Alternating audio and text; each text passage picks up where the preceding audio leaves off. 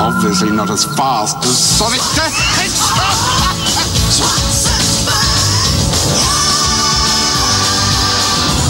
Well, he won't be making a comeback.